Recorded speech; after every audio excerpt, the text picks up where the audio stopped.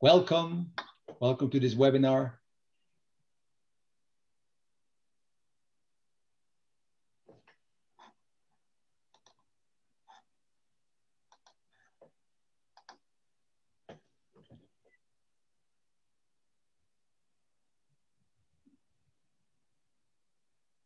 Good. Um, welcome to this webinar, the second webinar in uh, EW Nutrition's uh, AMR webinar series. Um, title of today is Will antimicrobial resistance impact our businesses and our lives in the, in the future? Um, my name is Twan van Gerwen and I am um, Global Technical Manager within EW Nutrition. It's my pleasure to host this session and to introduce our two exceptional presenters to you. First, we have Professor Bruno Gonzalez Zorn. Uh, he's the head of the antimicrobial resistant, resistance unit at Complutense University in Madrid. He gained his DVM in 1996, studying in Spain and in Germany, and his European PhD he obtained in 2001. Currently, he leads research projects on molecular microbiology and the ecology of antimicrobial resistance and his interests focus on the ecology of antimicrobial resistance, including humans, animals, food, and the environment, and focusing on genomics from a One Health perspective. So with this background, you can imagine the level of scientific and solution-oriented expertise of today's speakers. Um, Bruno, welcome. Hello, thank you. Nice to be here with you. And then uh, next we have Nan-Dirk Mulder. is a senior analyst, animal protein at Rabobank and covers the industry from an international perspective. He's based in Rabobank's headquarter in Utrecht, the Netherlands. So before his appointment at Rabobank in 2001, um, worked for the product boards for livestock, meat and eggs in the Netherlands. Um, he graduated in agriculture economy, marketing and market research from the Netherlands Wageningen Agriculture University and has been uh, uh, um, has advised and participated in, in projects on all continents of the world. And he is a regular speaker at conferences and seminars and with us today. Thank you so much.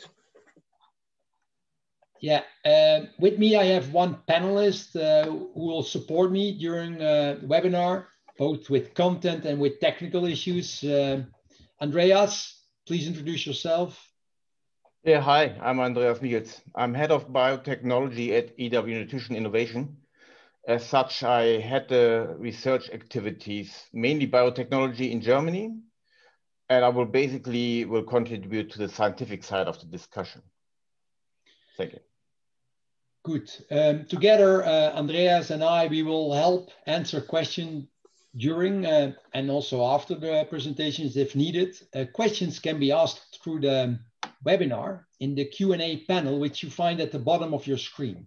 So some will receive instant replies from us, and some will be picked up and answered in the live discussion that will follow the presentation and the panel discussions. Um, we will be recording this session and the session will be made available uh, through our website in the coming days. So, um, and uh, for now, I would say um, we'll start with, uh, with the presentation of Professor uh, Bruno Gonzalez Zorn. Um, Bruno, the floor is yours. Fine, thank you very much. If you, yes.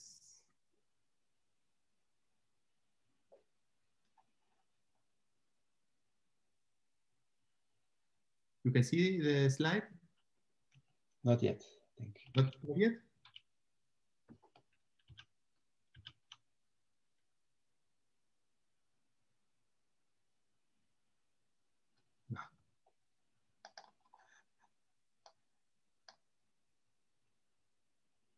There we are, right? Perfect. Okay, good. So thanks a lot for the for the introduction and thanks a lot also for for, for giving me the opportunity to, to be with you like the next uh, 10, 12, 13 minutes maybe, um, where I can share with you the, my, the, the, my views about antibiotic resistance and, and how we made it to this and why. And uh, well, I hope not, not to bore you too much. So as you know, bacterial diseases are very important today. You don't, you may, maybe you're not really aware of it, of it, because now we are in this COVID crisis, etc. But in fact, these diseases, lepra, tuberculosis, plague, they kill million, millions of people. And uh, it's bacterial diseases that have spread also worldwide. And they are currently, as I say, killing many people. And as, as, as I said, if we we have to think of history, and it's very important to take into account history. I said I said COVID we have to take into account what happened with the influenza uh, crisis. We didn't uh, learn very much from the crisis from 100 years ago, and that's why we are not managing it very well today. That's my opinion. So the same may, may happen with this. This is a bacterial disease, plague that spread all over the world and killed more than 100 million people. So the only moment in human history where the amount of Homo sapiens, so that's us, um, decreased since the beginning is only because of one bacterium that became strong in the world and spread worldwide. So single bacterium out of control is quite dangerous, can be very dangerous for humanity. Until, as you know, we started to control bacteria. Uh, bacteria. That control of bacteria came mainly because of Fleming discovered penicillin, because uh, in his plate, uh, when he when he went on holidays and he came back, he saw that his staphylococci were not growing very well besides the, that mold. And then he, he uh, discovered with other people and so on, penicillin. And from there on, we started to control bacteria. This is more or less between the First and the Second World War. So all the millions of people that died in the First World War, it's mainly because of infections, bacterial infections because of wounds. The Second World War is more bombs, etc. But the reason is because we mastered already um, uh, bacterial infections. So wounds were not enough to win a war. So my, my, my personal opinion, and I hope that also the ones of you in 10 minutes, is that the greatest discovery in human history was in fact uh, the discovery of antibiotics. Here you can see the plate, the original plate of Fleming, and where it, and he was and, and himself, or he was developing antibiotics especially penicillin, and you can see the great impact that this could this had immediately on humans. So you can see, for example, the infant mortality, how it was reduced thanks to the fact that we were able to control bacteria. And for example, the life expectancy, how, how it increased so much since those years where we started to control bacteria. So we had tools to uh, uh kill bacteria and control bacterial infections and see the impact that this had on human populations that I think we today we are here more or less because of this. Since those years, 40, 50, look how what an incredible increase we have had in the human population. I had a student, uh, 16 years old, eh, when I gave a talk there in a, in a school, and then she, she saw a picture similar like this one. She said, so with the discovery of antibiotics, we broke the equilibrium and that's not that's not stupid. Probably she's right. So we started to to to master diseases very well suddenly and we broke the equilibrium of human beings. And this is what we are heading to be. 9,000 million people on earth and that is uh, nice that we are so many but in fact or, or that we are so successful handling diseases but this is disadvantages and we'll see how to get protein for all of us healthiness and so on and so on. So so that, that was quite interesting but the fact is that now um, we are so many people, we master health, and uh, we are, have now this new problem of what do we do being so many. And in fact, all the modern medicine has developed so well because we master bacteria. So we can change organ, organ transplantation, treatment of cancer patients, etc. All this is only possible. All these surgeries that we overcome day, day by day is only possible because we master and we control bacteria. And after this uh, in, in, in, discovery of penicillin, many other, other, other researchers did more or less the same approach as uh, Fleming, and that is to go out there in the environment and to take those bacteria, microorganisms from there to see which ones were producing bacteria. So these were uh, antibiotics. So these were the golden ages of the antibiotic discovery. So in the years 70s, 80s, more or less, we had like too many antibiotics in the market. So for every single bacterial infection, we could choose between seven, six, eight different antibiotics to treat properly patients. So the industry, the pharmaceutical industry, then developed and other kinds of molecules, abandoned the, the, the antibiotic discovery, and went to discover HIV, for example, molecules. Thanks to that, by the way, we today the life expectancy of HIV patients is the same one as of the patients that are not infected with HIV, or molecules against cancer, etc., etc. So the, the pharmaceutical industry decided to do other things, and they did other things very well for humanity. I say this because sometimes people blame the pharmaceutical industry. Oh, they have abandoned antibiotic discovery. Yes, but in the meantime, they did other things that were also very good for humanity. But they abandoned, it's true, because we had too many antibiotics. So now the fact is that we have been, we have not discovered a single new family of antibiotics in the last 30 years. And by using all these antibiotics, now we have a lot of resistance and very few antibiotics. And in fact, that's why every year there are meetings in the WHO to see what critical antibiotics we use in animal health that are critical for human health. This is revised every year. This was published last year. And as you can see, all these antibiotics, if you are, are uh, used to them, it's the antibiotics that are used currently and normally in animal medicine. We have to preserve the efficacy. Why? Because if we don't react now, the, the, the estimates are that for 2050, 10 million people will die every year of antimicrobial resistance, not, for, not of bacterial infections, because of bacterial infections being resistant to antibiotics. Okay, that's more or less, that's more or less five COVID pandemics per year. So this we want to avoid. This is what this was. A, a, a, that's a, picture, a picture with uh, Jim O'Neill who published this this this report, and then you can see the distribution of deaths, mainly Asia, Africa, but also Europe.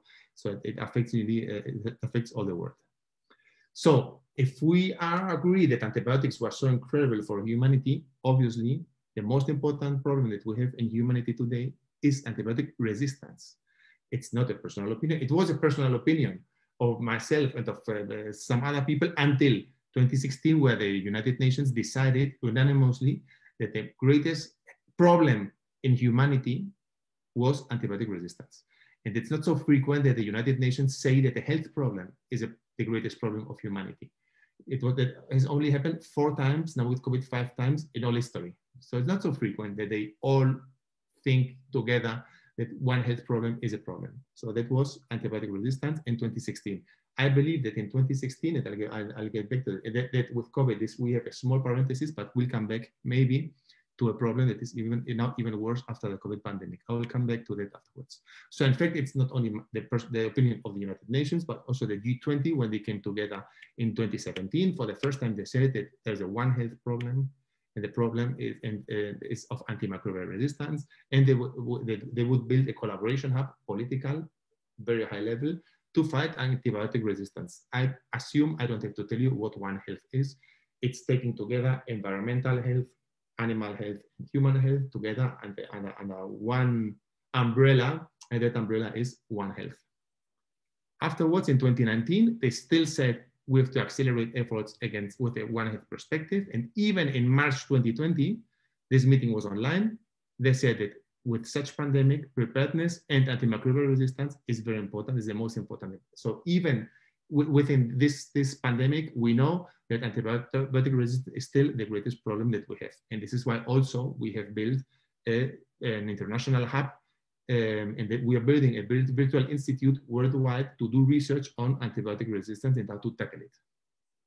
The problem, as you may know very well, is that bacteria don't keep, when they, once they are resistant, they don't keep the res resistance mechanism with them. They share it horizontally with other bacteria. And that's why antibiotic resistance spreads so fast and so well between bacteria.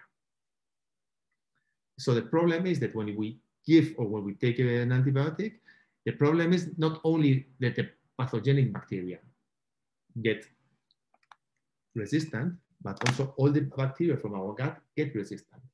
And they get this, they maintain these antibiotic resistance genes. And then they will spread it to all the other bacteria. Even if there's a susceptible salmonella or pathogenic bacteria coming in, it will get these resistant genes from the commensal bacteria. So commensal by giving an antibiotic is always producing resistance of even if we cure the patient because the, the, the, the, the population, the microbiota of the patient will still uh, um, and be, be, resistant. So you can say, yes, well, probably, yeah, I've heard about that a lot and it's probably starting to be under control. Nothing more far away than that. This is the maps of that we do every year on, in this case, it's E. coli fluoroquinolones. And you say the maps is, are getting in all countries worse and worse. So antibiotic use antibiotic resistance is fully out of control, is out of control worldwide, not only in humans, this is humans in hospitals, but also in, in animals. Here you see worldwide, chicken, in pigs, and cattle resistance is increasing all over the world in animals and in humans. So that's really out of control. The increase, because we have an increase of resistance all over. You can see here that these resistance genes are in animals. Here we have sequenced, and you can see in the left panel, all the DNA which is in, in our guts, in humans and in pigs this time. And you can see that the pigs have much, many more antibiotic resistance genes in their guts than humans, which means that there's a reservoir of antibiotic resistant genes within our animals. The same happens, by the way, with poultry. And when we have a look at who is getting these resistances, we can see in this study that we uh, um, published last year, you can see that humans have many resistance genes. Here, human controls, you can see it on the left panel. And then you see poultry farmers, and they have statistically more antibiotic resistant genes in their gut. Where are these antibiotic resistant genes coming from? From, from these farmers. farmers. You see that in the poultry feces, there are more antibiotic resistance genes, but look how many antibiotic re resistance genes we have in the dust of the farms. So I use this um, to try to convince also the farmers, but also the, also the vets, but mainly the farmers also, that the first people affected by antibiotic resistance is the farmer himself and his family. And the, the, the day after tomorrow, he will be in a hospital ill, and there will be no treatment, especially for him, because they have more antibiotic resistant genes in their lungs and in their, in their, their, their feces and in the intestine than the rest of the population. So especially it's only it's especially for them, for their protection to be, they can be a bit egoistic, they have to control antibiotic resistance and use. And as I promised, and I will finish with this, what has happened with COVID? So especially in the first months of COVID, we didn't know very well how to handle uh, uh, these patients. And in some places of the, uh, of the world, we still don't know very well. So this is the antibiotic use that, uh, and development in 2017, 2018, 2020, and suddenly in March, we have an incredible increase of antibiotic use. Not only in the whole country, as you see in the left, and with all the antibiotics, but especially with azithromycin, it increased 400%, at, but also many other antibiotics, linezolid, colistin, cephalosporins, tetracycline, so there's a huge increase the, the, of antibiotic use with this crisis. So we are getting vaccinated. We will for, not forget this crisis, but we will get over it. But what will stay is antibiotic resistance.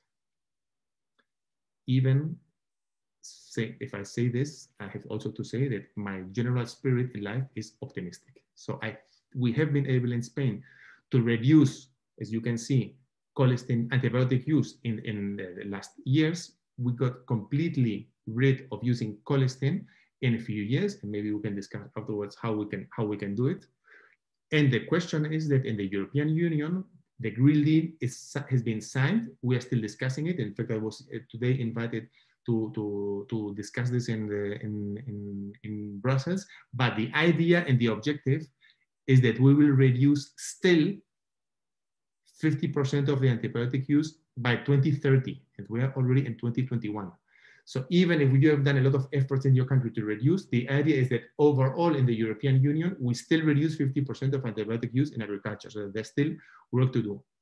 But I think also that this work is doable. I don't think it's impossible. So I think really that between the farmers, the vets, science also, and also the, the, the, the farm, the industry, biosafety, etc., together we can make it.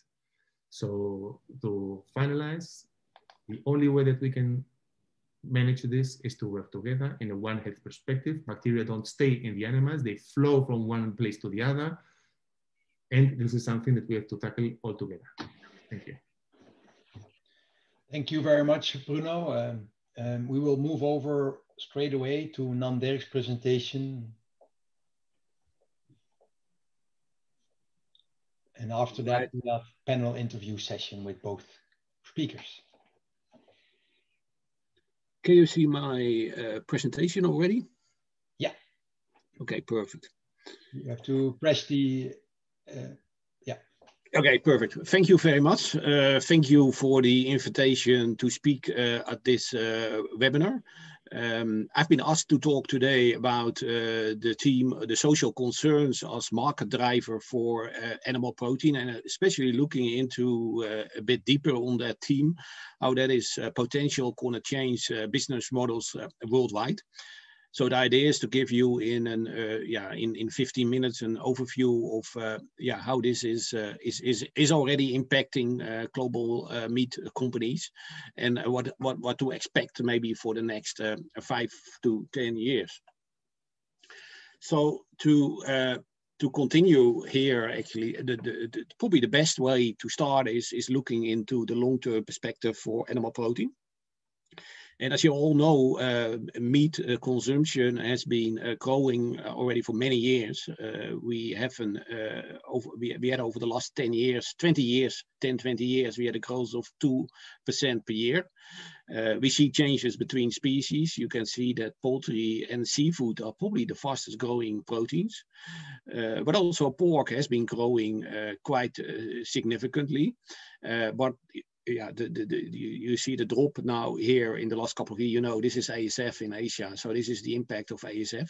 Is now a bit recovering again. So if we look forward, we expect uh, the market to keep growing in the next 10 years by a half percent. So you need one half percent and you need then 20% more uh, meat, um, um, which is a big challenge, of course if you, if you look a little bit deeper there into uh, where this growth uh, will be, uh, it's going to be different uh, between region and, and we have mature markets uh, like you can see on this figure. So the dark, dark blue part is, uh, is pork consumption growth. So you see the link between the, the, the development stage of an industry, industry mature, fast growing, and the and, and you know the industry structure, modern or traditional. so we have mature markets, uh, EU, UK, low growth, uh, but also very fast growing markets in Asia, Latin America, uh, where, for example, for chicken, you have markets which are growing 5% plus. For pork, probably the fastest growing are in South America, Central Asia, where we have around 3 4% per year predicted. But this is a big challenge, actually. So we have to produce in the coming year probably more with uh, a relative limited uh, availability of resources.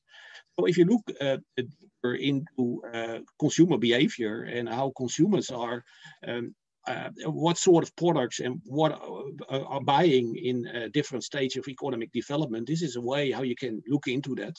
So we think there is a is a strong relationship with, with income.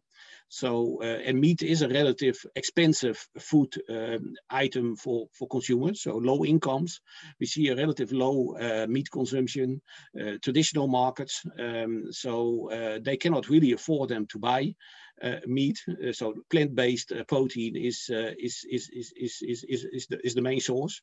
If incomes rise further, um, yeah, you, you move in the next stage and then people have enough money to spend to increase consumption of meat. So this is Southeast Asia, this is Latin America, this is, uh, this is parts of Africa as well. So fast growing consumption of meat. Uh, we see also changing behavior. Uh, the people, they shifted from wet, from the live bird markets, wet markets into uh, modern um, uh, formats like restaurants, uh, supermarkets. So very bullish actually. So also here, um, health is becoming absolutely more other co consumer concerns, but it's starting. If you go further down, you enter in the stage of uh, mature markets where actually Europe, US, Japan are. And here uh, you see that people have reached probably a relative high level of consumption. Consumption growth is low, but people really ask more about the producers in terms of um, of standards and about and, and, and social concerns are very important in uh, in that stage. So if you look deeper into these uh, consumer concerns, there are several ones actually. Uh, food security, definitely, of course, in the first stages. Uh, so people are happy if they can get enough um, uh, food, protein uh, to, to, to, to, get enough uh, uh, food uh, for themselves. But if you go further down, you see other other concerns also rising, and then uh, probably first stage is health uh, later on, I think environmental friendly production, welfare issues. but they all get more important. And the process I showed in the previous slide is not a static one, so it's changing. So if people get more income, and especially in, in cities, it's often already the case, people are going to ask more from producers. And how you're going to see that?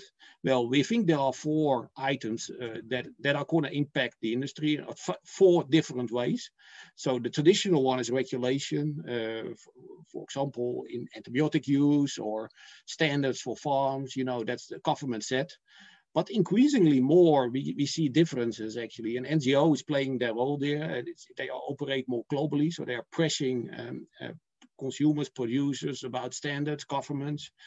Uh, so we see more uh, customer standards in the market, but also company-specific um, uh, labels, brands, concepts, which are changing the market. So my idea is, is to go to, to a few of these uh, developments that we see. And first of all, uh, it, it is, uh, I think it's, it's, it's the animal welfare uh, topic, which is a, very pro prominent driver for change in the egg sector, where we see the laying hen housing standards changing. So uh, this left-hand side gives you an idea about production system in different countries. And you know, 2012 we had the European uh, cage ban, uh, and, uh, and now so so the traditional cages are, are, are phased out in Europe. But you see it's moving to other parts of the world, especially in the Western markets, but also increasingly more in um, in, in in uh, in emerging markets as well. And and and for the other markets, then Europe it becomes much more driven by customers actually. So you see at the right hand side some commitments taken by supermarkets and restaurant chains in the US. also the timing. Uh, so it's going to be big actually. So we, we think that around 2024, 2025, the uh, uh, conventional cages uh, are uh, phased out in the US. So the industry is very much in a rebuilding uh, state uh, at the moment. So, and the other factor also related to animal welfare is the trend to a different production breed. Uh, slow growing birds, uh, but it can also be other ones, but slow growing birds, probably fastest growing part here. Also here, I think it's it's a lot is originating for, from Europe. France is already doing this for many years with Cetive, with Label Rouge. Uh, but it has been now also adapted by some supermarkets or by, by restaurant chains as a standard, minimal standard. So you see, for example, in the Netherlands that in a couple of years time, the total uh, supply to supermarket changed to minimal uh, slow growing birds. So regular standard birds have been taken out and that has become the standard. So it's really uh, customer driven change. And gradually it is moving. In most countries, it's more, I think that at the moment that producers are introducing standards to differentiate the product. But likely you get also more customer uh, involvement in this uh, market that they are going to, especially branded company are going to apply this as a, as a minimum standard in the market. Then a third uh, uh, change uh, also related to social change, uh, the antibiotic uh, uh, concerns. also there, customers have taken their lead or the lead in this development in the US. Uh, so left-hand side uh, gives you the, the, the, the road uh, that the US industry or US food service companies, but also poultry producers have been taken to change their standards. Uh, so right hand side you see there uh, you see there the, the food service restaurants and when they change their um, system and what what level uh, they are asking uh, from their uh, clients on the right left hand side you can see also producers actually also introduced higher standards partly because of, uh, of, of, branding, uh, but also in, in some cases for the complete uh, supply of, of a company actually. So it's, it's, a, it's, a, it's a combined way of producers, customers changing their standards. And if you look right hand side, you can see how massive impact this has been has had in the US on uh, antibiotic uh, use in the uh, industry sectors in the US, uh, beef, pork, uh, are still uh, uh, uh behind this trend, and uh, but I will change in my view as well. And and that this and that this is related to this sort of scorecards that are monitored among um, restaurant chains in the US. So you, you the, the, big restaurant chains they get a classification in in on, on, antibiotic programs.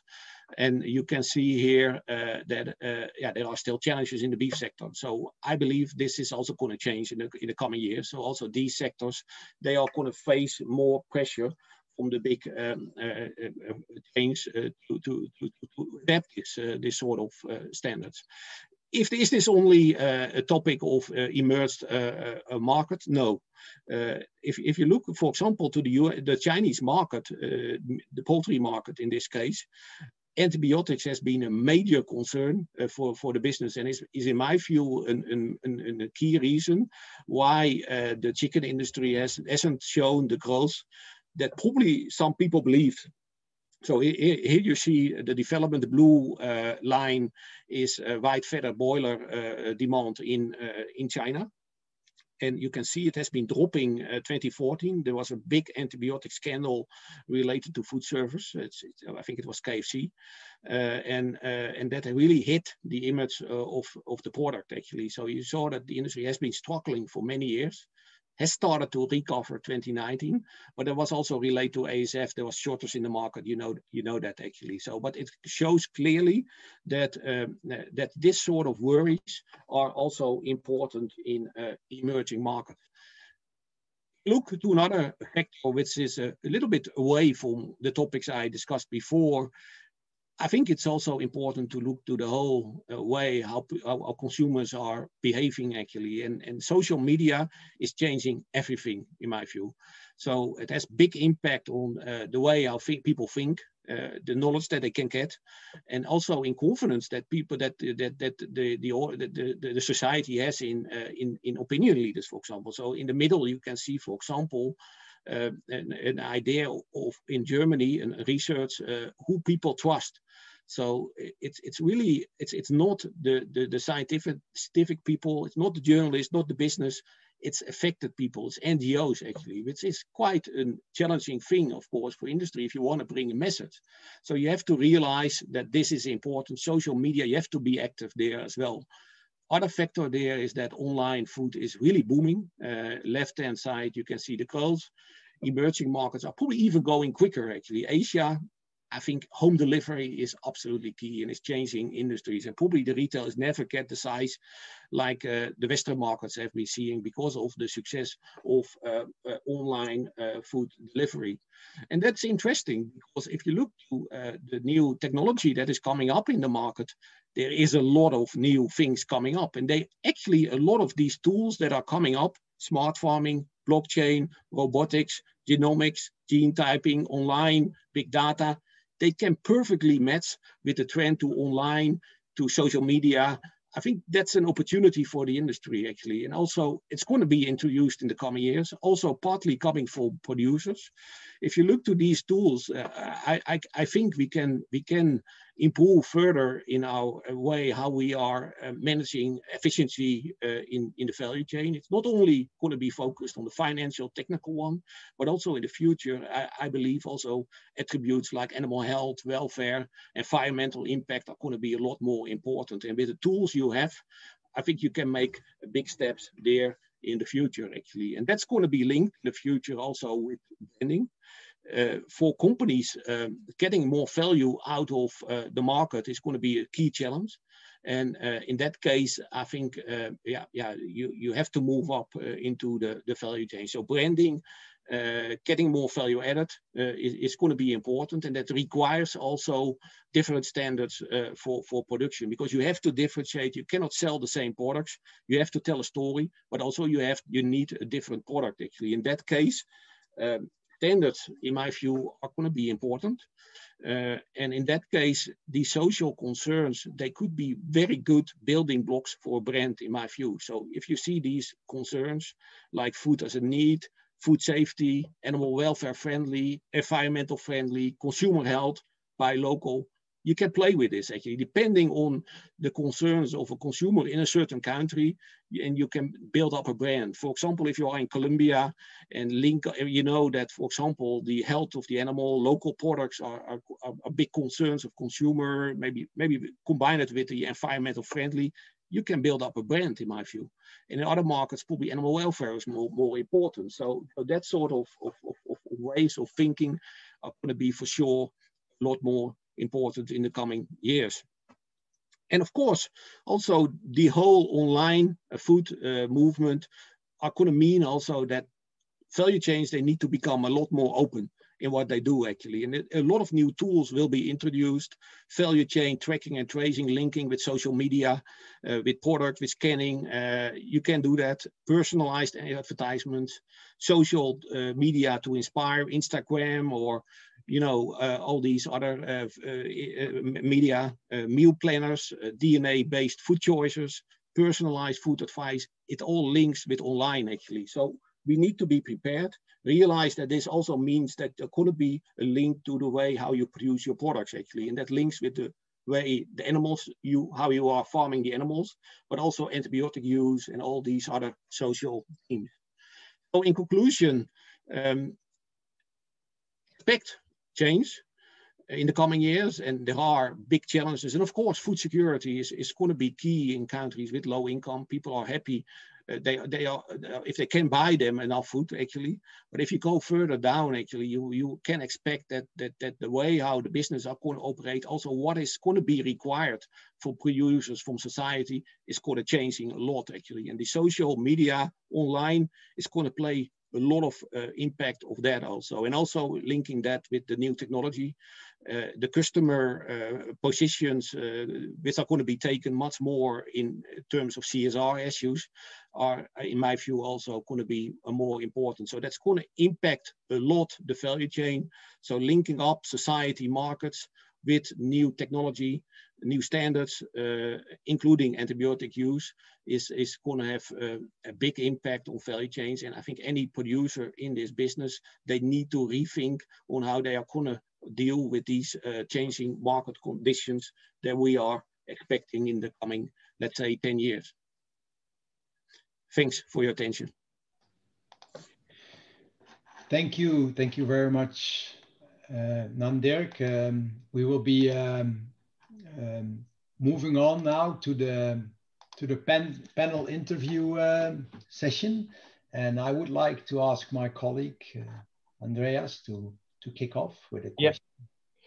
Yes. Um, Bruno, thank you. Um, this your scientific work like uh, uh, um, fosters the awareness of relation between antimicrobial use and antimicrobial resistance. This is very important uh, legislation is following with regulation to mitigate AMR. There has been a clear push to reduce antibiotic use in the EU. EU yeah? A regulatory push to zero use is considered unrealistic by most of the stakeholders. Mm -hmm. But one may ask the question whether there is eventually an acceptable level of antibiotic use. What is your opinion? Yeah, well, I agree with you. In fact, uh, um, Eh, it's true uh, for those people that are aware of antibiotics, that antibiotics cause antibiotic resistance and we should avoid it, we all want to use less antibiotics. So, so where to set the limit? It's scientifically, it's not, it's not easy to say exactly at this point. It's similar like in pollution, for example, where you say, okay, we have to, how many cars do we have to reduce in order to have less pollution or to stop climate change? It's very difficult to say, 50%, 100%, difficult to set it. So that's why people take political decisions. So like it happened in Netherlands, for example, was suddenly somebody said, okay, we will reduce 30% for or 70% in three years. And, and then we see that, that that's feasible and possible. Also, also in colistin, the European and, and, Union, and Union recommended to reduce colistin a lot because it was used for human medicine. And they said, well, probably five kilogram per PCU is something that can be the aim of the people. And we in Spain, we even reduced it. So, so we have to reduce, but it's, and, and, and, and you say, it's unrealistic to say zero. There are some, some, some, in, I think the disease is unavoidable. So disease will always happen. We, we raise our children in sterile apartments and sterilize everything that we give them. And finally there is a disease or even an accident. So that happens. So, but what, what, what we are doing, what the, the most modern industries in Spain are doing, and also in other countries, is to have like two lines to, let, to a line of production with zero antibiotics. And then as soon as I must treat a couple of animals here, I take them out of here and I put them to my farm where I produce, where I can still produce an, uh, animals with antibiotics, you know? So this, this is what we are doing in a couple of farms. So probably everyone zero is not possible, is not realistic, But I know that we have brands, modern brands that look into the future, And it's, as, as Nadia saying, well, the consumer is demanding it, and also the companies and, and, and the retailers and so on. So there are lines that where zero is, and then if there's an accident or, or, or if a disease, then this, these animals are individually taken out of this line and put into another line where a bit of antibiotic use is, is, is, is still possible. So there's always this trade-off between animal welfare, antibiotics, and to reduce it as much as possible. So overall zero, I think is very difficult. And, and to, to have some production lines where you don't use antibiotics at all is possible. Um, if I may, uh, from Nan-Dirk, um, in many markets currently with the COVID crisis, the focus is on retail sales. Um, there is a reduced, as a consequence, there is a reduced threat from uh, from imports. Retail is typically supplied by by fresh local products. So, uh, furthermore, we see major investment in, in in some modern farm system happening, particularly in um, formerly ASF hit countries like China and Vietnam. So Rabobank suggested in one of the recent reports that um, in the more consolidated markets, supply can be adjusted to, to local demand, uh, with the leaders in the industry potentially playing an important role there. Now, you also spoke about uh, building a brand and, and, and taking advantage of the, of, of the situations. Can we expect that any of the industry leaders to take to, to actually take advantage and, and start building a, a, brand based on customer concerns like those that you have uh, discussed, uh, including perhaps also reduced use of, uh, of antibiotics? I think so. Uh, you, you know, the, the, the, for example, in what we now see in Asia, the massive investments in the in the the pork and chicken industry because of ASF, there is a risk uh, for oversupply, in my view, in the next couple of years. So, if you are a, a, one of the leading producers, uh, in my view, it is very important to to to make sure that you are different from the bulk. Actually, so you want to be in that situation out of the bulk part of the market because that is going to be price driven. Uh, and, and the positive thing here as well is that in emerging markets, um, you know, supermarkets are not so strong as in uh, in Western markets like uh, the UK or um, uh, the US, where uh, they dominate uh, the market actually, and they want to prefer they want to work with private labels. So I think if you want to develop a brand, you have to do it at that stage actually. So that's going to happen in my view, and and and and then of course if you do that yeah you you cannot sell the same product in the market because consumers are going to see that. So you need to do something different. Consumers in these countries they have uh, they have already, of course, uh, uh, uh have the concerns are matter. I believe there uh, health issues is, is a major one. I showed you China antibiotics, uh, the, the the market trend. So I believe if you can guarantee an, a product that is an that is that is, is is produced at a very conscious way there, I think you you you can and you communicate that right with the consumer, there is a big opportunity in my view, and it's happening. There are companies that do that. We see also that in, for example, in China, blockchain is is one of is, is taking off uh, really a lot, and that's of course also a tool that you can use actually to to to to to to to get to, to build up trust uh, with consumers uh, about uh, how uh, uh, produ- products are being produced. In my view, so yes, I think that the the combination with um, with yeah, with uh, uh, the demand change, a brand, and the new technology is, is going to be, in my view, the, the, the success story for, for a lot of these um, countries. Bruno, yes. Well, yes, I, I think it's very well. The, the talk of Nan-Dirk was, was very nice, but I think it's very interesting to see how in different regions of the world, the driving force to get to to to, to use less antibiotics is a bit different. So in Europe, sometimes we have this tendency of okay, uh, the Green Deal, or we have to reduce, and the government is, is taking a decision, and then the rest of the population is, is, is, is reacting. But in some other places, and I think it's fine because the, the final result is good, it's the consumer. So it's like a bit bottom up, this, this social networks or the consumers, the demand, look, I want this. And then the company says, yes then finally I will sell this without antibiotics. And then suddenly we reduce antibiotics. And sometimes, no, and, and it's, it's driven by the industry and bottom up. Sometimes it's, it's top down, but I think that both are fine. I'm very happy with them because the result finally is that less antibiotics are used, no? Absolutely. And I think uh, to add there as well, uh, there is an, there is another uh, factor which is also important there. That's our branded uh, uh, companies, retailers, food service companies, and and and and also food manufacturers also who have to yeah who have a brand actually, and they are concerned that there will be an issue with the brand. So also they are pushing a lot uh, the change in the market in my view so it's really the producers it's it's the it's the it's the customer food mm-hmm. service retail and it's regulation as well indeed yeah I think um, Bruno, you already touched it that that the information for antimicrobial resistance is transferred between strains. Yeah, uh, but this is very important and interesting. So AMR develops, as you said, under the, the pressure of a, a, a, a um, antibiotics use. Yeah, and uh, the abundance is of the resistance is also related to that. Um, um, but what about the dissemination of AMR within species and also between different bacterial species? Yeah. Other ways of transfer, or what is the, uh, the frequency of transfer in species and between species? Is that known? Yeah, well, yes. Uh, so and that's why I put that slide on on on this on what we call conjugation. This is horizontal gene transfer between bacteria because this is happening all the time. All the time, bacteria are sharing DNA genetic information.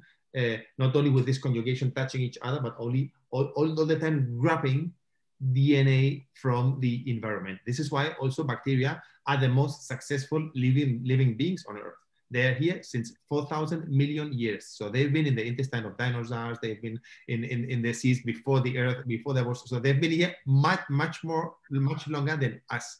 So thinking us that we were able, uh, able to control them, taking one of the one of the weapons from nature and starting to use it clinically is of, of, of, course absolutely stupid. Even even producing synthetic antibiotics, we we synthesized a couple of antibiotics, sulfonamides and so on, thinking that oh yes they have never seen this molecule, and then this will make it you know, and then 0.1 seconds bacteria become seconds or days or whatever, bacteria become resistant to, to, this, to these antibiotics just by changing their, their DNA. So the DNA is so flexible, they change it, interchange it so fast that they become resistant to whatever. So, so, the, so when I read some projects or research projects or some people that say, we are going to develop a bacteria, a, a molecule that there will be no resistance.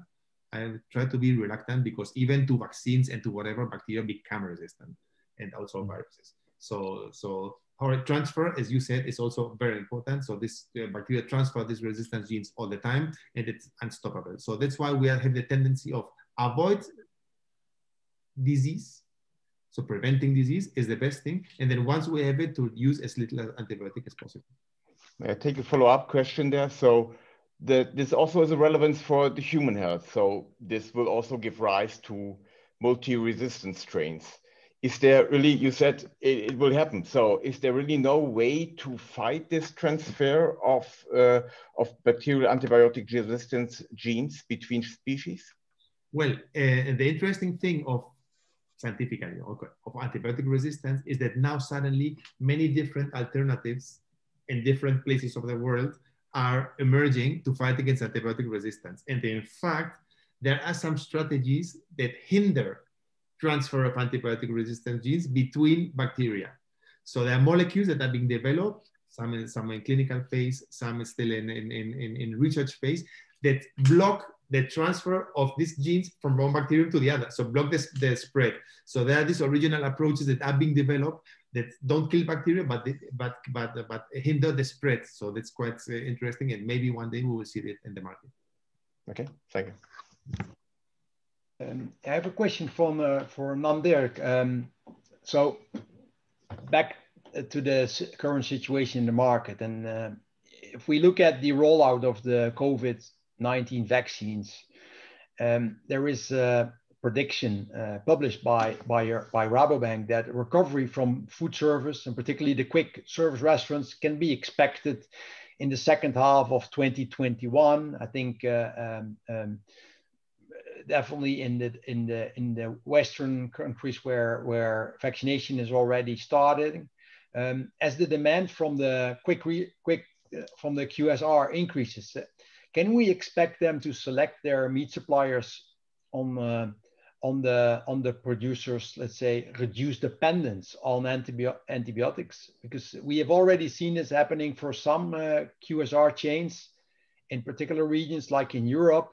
Um, there might be still a little of an oversupply issue in the beginning of that uh, recovery. Um, any any opportunity for um, for uh, restaurants to um, yeah to further uh, improve their brands or what? Yeah, what I think yeah, yeah. Thanks for that question. Uh, yes, uh, I believe so.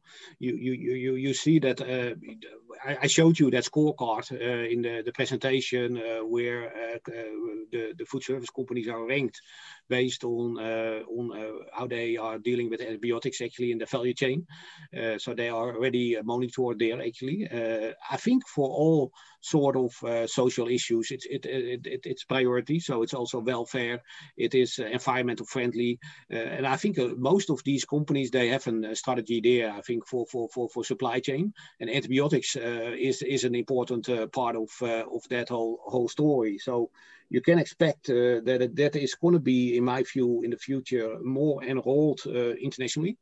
Uh, a lot of these brands, and that it's not only in the restaurant you see a uh, change; it's also in uh, among food producers. They uh, work with global standards actually, and they they want to operate as much as possible. I think worldwide with relative similar standards. So you can expect that it's moving also in in other regions, in my view. So that is is is, is if you look five five five to ten years ahead, it's going to be a lot more international in my view. So there's a question also from the auditory, which I find very interesting and relates to Bruno's uh, areas, on which I also had on my list. Is appearance of antimicrobial resistance solely to be addressed to animal production? Yeah, well, that's that's the classical question, and that's probably the, the question that has hindered us to take proper actions against antibiotic resistance in the 80s, 90s, 20s, uh, and, and, and the, the, the, end of the last century.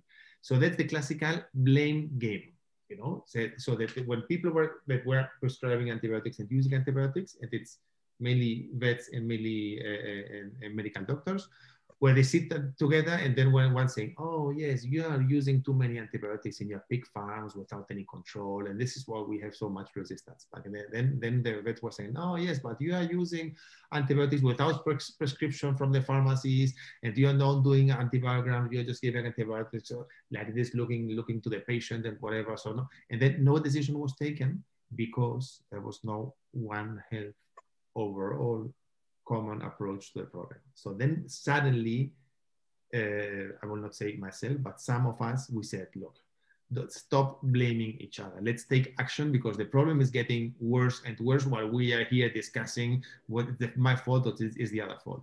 So that's why we're taking the One Health action. So we know that every single molecule of antibiotic that, that, that we use, wherever, even in, a, in the water, in a river or whatever, is potentially is driving antibiotic resistance, making the bacteria become resistant to antibiotics. So let's reduce all of us the amount of, antibiotics that we are using, and we are doing it. We are doing making efforts in animal health, and we are making efforts in human health as well. We are reducing in Spain, for example, we've reduced it, but also in Europe, in many countries, reduce the amount of antibiotics that we use in hospitals. We are making a lot of GP courses for GPs in Latin America, in Africa, to, to teach how to prescribe less antibiotics. So everybody must do an effort and stop blaming each other at every time that we talk about this. Good. Um, yeah, thank you for um, for this. Uh, I would like to um, uh, move on to the to the Q and A session of this uh, webinar. Um, we have some questions. Uh, we received some questions from uh, from our attendees.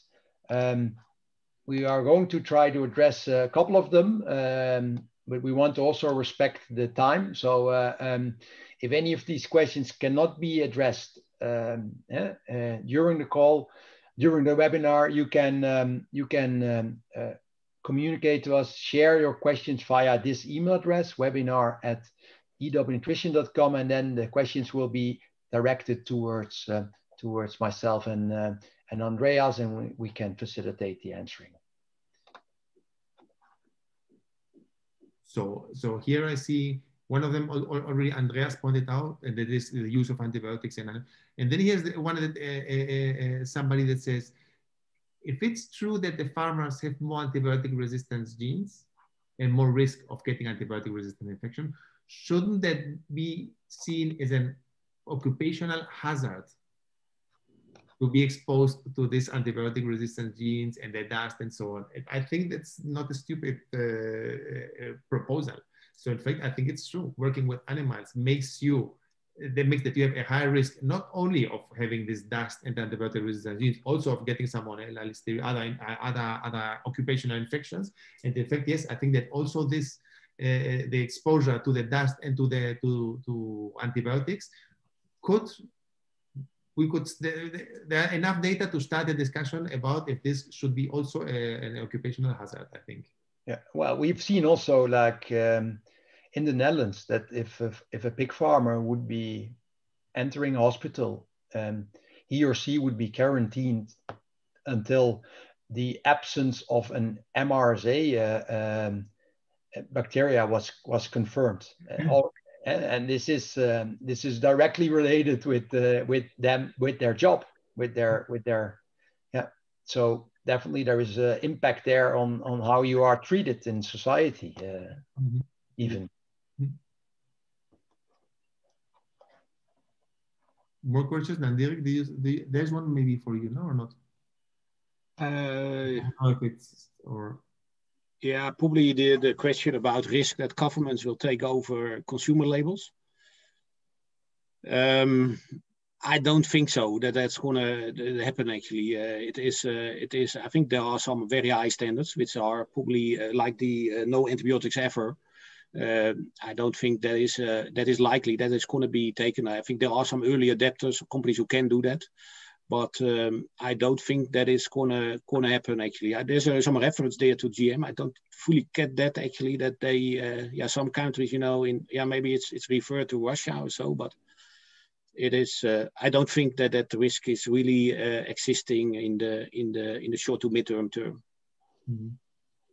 And I think there also the proactive uh, attitude of the industry can also prevent it and, and make make the industry stay in the in the in the yeah leading this right? I mean if you are um, if you are not responding at all then you have a higher risk i i think that governments will take over and uh, that's right. And it's also, I think, linking to, because, you know, I, I showed the example of China, which I think is a, is, a, is a perfect uh, example of, of, of showing how big the concern is.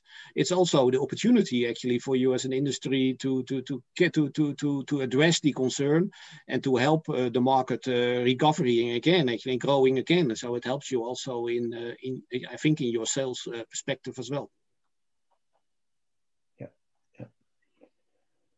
Yeah. There's one technical question at the end, uh, Bruno, uh, to challenge you here on uh, AMR. Um, some producers decide to use specific classes of antibiotics in broiler breeder or in sows and, and using another class in their offspring. So um, this is to reduce the risk of, of, of treatment failure. Uh, in your opinion, is does such approach make sense? Or? I think, yeah, so I, it, it doesn't solve, especially because if you do it always, then, then uh, uh, we have something that is called co-resistance. So uh, as, as, I said, the bacteria change these DNA structures that they are called plasmid, they change it. And they normally they don't have one antibiotic resistance genes, they have many. So bacteria then transfer not only resistant to one antibiotic, but to many at the same time. But but the approach is not bad. In fact, it's also in human medicine, it's also it's also recommended it doesn't hinder the use of antibiotics or it's, it's not the, the solution. And, that, and that's to change the, the, types of antibiotics that you give to a patient if he's a lot of a lot of time in the hospital. So I think that this this is one possible. It will not minimize, but it helps a bit to use different families of antibiotics. But be also careful that not always the different antibiotic means a different family because many times it's, if, it's, if it's the same family, if it's a beta-lactam and the beta-lactam, then it will not have very much. It must be really different families with different resistance mechanisms, and that it can help a bit. Yeah, thank you. Um, yeah, I believe we have uh, reached the end of the hour. So um, to respect the time of all the attendees, um, uh, I think it is time to um, to close off. Um, yeah, some of these questions uh, uh, that were submitted were actually not uh, not addressed yet. So please submit resubmit them through the through the um, email address that is indicated here. Um, we will be uh, uploading the recording of this webinar onto our website ewnutrition.com within the coming coming days. You can you can find it there, and uh, you know also um, um, share it with uh, colleagues and and friends who you um, um, so that they can go there and watch the recording uh, at any time. Um, I would like to thank you all very much uh, for for attending and also many thanks uh, to the two uh, um, uh, presenters. I think we had two very nice presentations, very complimentary and, and help and helping us to, to look at this important topic and other related sustainability issues from yeah from from two different angles. Um, so thanks very much. I, stay mm-hmm. safe, all of you uh, there, and um, keep up the good work. Bye for now. Thanks a lot. Bye bye. Stay safe. Bye bye.